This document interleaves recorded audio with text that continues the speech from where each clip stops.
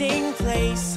I don't know if it's Earth or if it's outer space. Wherever we are, it's clear to me that this is right where I want